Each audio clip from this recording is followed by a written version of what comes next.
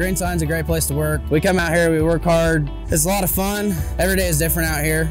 Seeing the finished product, it uh, makes you feel good about yourself.